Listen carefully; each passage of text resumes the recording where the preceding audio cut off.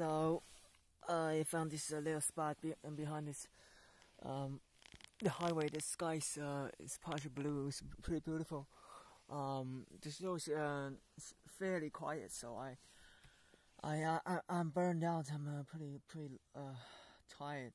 I wanna stay aside there and dry my clothes and ha have a little bit rest and uh, uh, finish the the busy S S way tomorrow. It's about uh, around 20 k's um, to my destiny city, Huangshan City, and I'm about there, so I wanna take it easy.